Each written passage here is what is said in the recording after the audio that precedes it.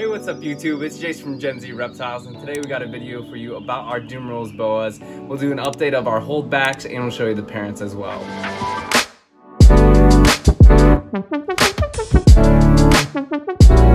First, we got our holdback male. We're definitely starting out with the banger with this one. He's got the most beautiful peach color on his neck, and that's ultimately what made us decide to keep this guy.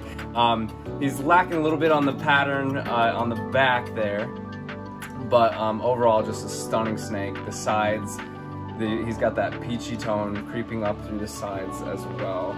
Uh, yeah, not much else to say besides this dude is a stunner. And this is our banger female that we're holding back as well. She's got those bright peachy colors on top. Uh, in my opinion, her pattern on the back is a little bit more defined, which I'm leaning towards. That's hopefully what we'll be able to select for down the road. Um, same deal with the peachy sides going up. Just absolutely beautiful girl right there. So this girl doesn't actually have as much peach tone to her. Um, she's lacking some of that peach, but she makes up for it with this really cool, like almost gray or silver kind of palette going on. She also has that super defined pattern, which I absolutely adore. Um, but yeah, that's a little bit of a switch up from the last two. Um, there are still some of those peachy tones in there, but yeah, I'd, I'd say like more of the grayscale almost um, that we got going on. So with this girl, we have some of that peachy tone on the neck and back again, but something that's a little bit different about her is on the pattern on the back here, she almost has like this gold blushing coming out through the sides, and then on the side pattern inside of these like symbol looking things there's this deep rusty orange. And it almost reminds me of like a dragon or something from a fairy tale. It doesn't even seem real. That's it's just crazy how well defined the pattern is and the gradient within there is awesome. So this girl is actually available and she showed up in one of our recent videos but one thing that's really cool about her that I like a lot is that her pattern is like incredibly well defined on the back and the sides.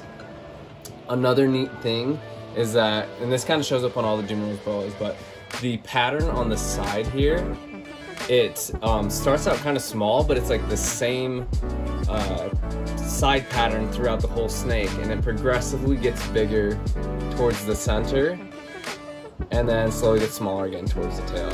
I just think that's the coolest thing. I was like the same throughout, but just different sizes. This is our big boy Oolong. Oolong loves to chill. He's like one of the most chill snakes that we have. One thing I like about Oolong is he has that silver coloration on the side, and that's kind of what we saw in one of those babies that we showed.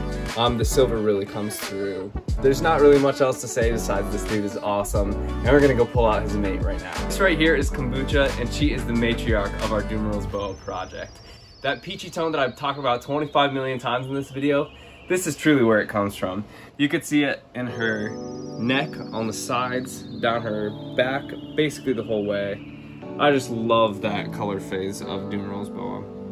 And then another thing that you can see down here is she is super girthy down here. And that means that hopefully some more babies are on the way. So if you missed out on this past year's batch of babies, definitely stay posted for these. Uh, our Dumeril's boa videos do pretty well always, so we know that they're a fan favorite for sure. But um, I don't know exactly when these babies will be due. We started pairing her up um, I think probably around October when we started pairing up the ball pythons. So um, she she'd gotten back up to size, and we said might as well try it out again and see. And uh, yeah, sure enough, they started locking right away.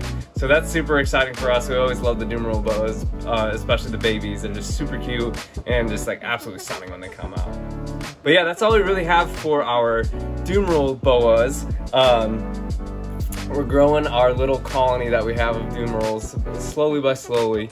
Um, and we'll definitely do some more updates down the road when the young ones grow and when she has babies again. But um, that's all we really got for you guys today. I hope you enjoyed. Make sure you drop a like, hit that subscribe button, hit that notification bell, and uh, you got anything else, Josh? Check us out on our social medias. We have them listed in the description below. Yes, those will be down below. Thank you guys for watching. We'll see you next time.